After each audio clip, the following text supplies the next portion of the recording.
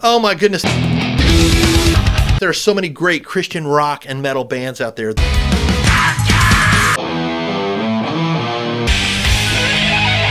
That deserve so much more love than they're getting. And I am stoked in this video to share 10 more of them with you. Rocking you up Jesus Christ with classic style hard rock music and practical Bible teaching. Band number one, True Strength. These guys are hooky, 80s style hard rock through and through. Good vocals, harmonies. I listened to the voice and I kept really racking my brain like, who does this guy sound like? And I really don't know who to compare him to, but it's really good stuff. A little bit raw and garage bandy, but man, it, that might be just exactly what you love. True Strength, definitely worth checking out.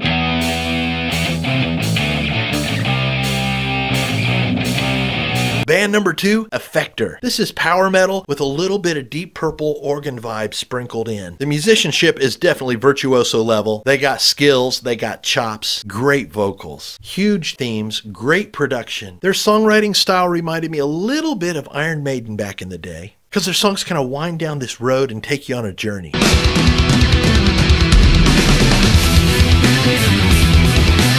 Band number three, Biogenesis. Intense heavy music, man, with influences from classic metal and nu metal. Solid musicianship, strong vocals, some growl thrown in there as well. Big choruses, strong songwriting, just powerful, heavy music for Jesus.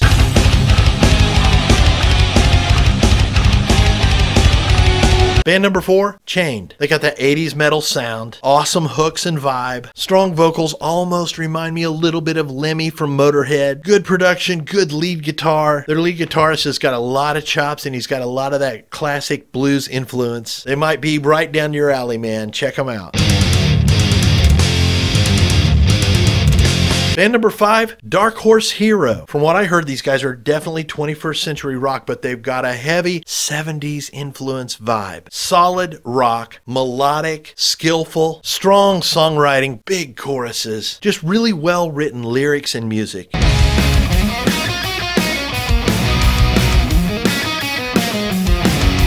Band number six, Ectherion. Epic, heavy, powerful, melodic. There's a touch of symphonic metal in there. Huge kind of gothic choir like background vocals. Their guitar player shreds. There's a little bit of growl dropped in there. It's kind of a gothic, melodic, extreme metal vibe.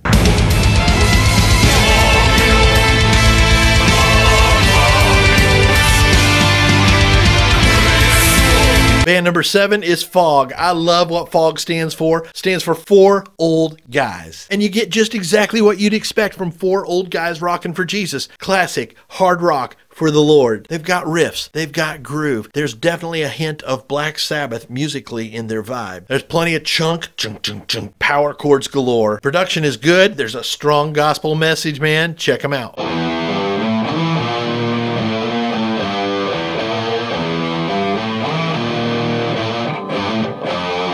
Band number eight, Eterna. With Eterna, you've got epic, old school power metal, some shred guitar, a really tight band, power metal arrangements, great vocals, lots of melody, and plenty of head banging grooves for Jesus.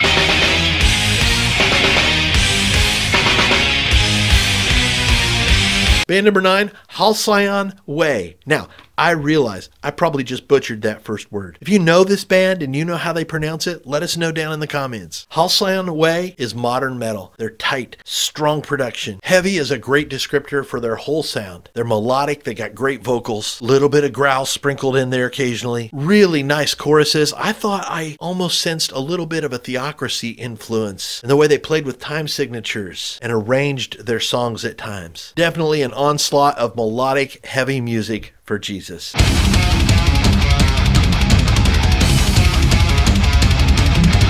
Band number 10, Image of Eden. I honestly don't know what the rest of their catalog sounds like, but this song that I stumbled on is just an epic cover of a massive, really early, like 80, 81, 80s hit by a band that I just absolutely loved when I was in high school. Fight the Good Fight by Triumph. And I absolutely get the vibe that they are not at all an 80s style rock band or metal band. But they took on this song by Triumph put their own spin on it, and oh my goodness, it's incredible. Rik Emmett's vocals are daunting to try to cover because he has such a high register that I don't even try to get up there. They just do it their own way, and it sounds so good. If you're familiar at all with Triumph and the song Fight the Good Fight, if you're not, I encourage you to look that up, okay? Listen to that first and then come back and do a deep dive into this, man. I think it'll make you smile, man. It's it's really cool. Here's a little snippet from the intro. Enjoy checking it out, man.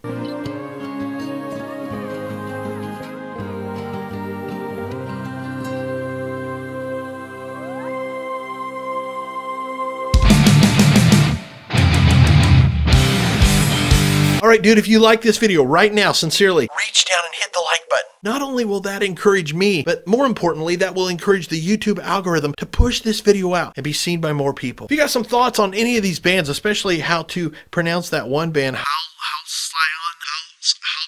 help me out with that in the comments. I'm going to continue to do videos like this, introducing you to bands that I think deserve a little bit more love going forward. So if you have some bands that you'd like for me to feature in future videos, let me know down in the comments. Until next time, keep your eyes on our awesome Savior, Jesus Christ, and I'll catch you in the next video.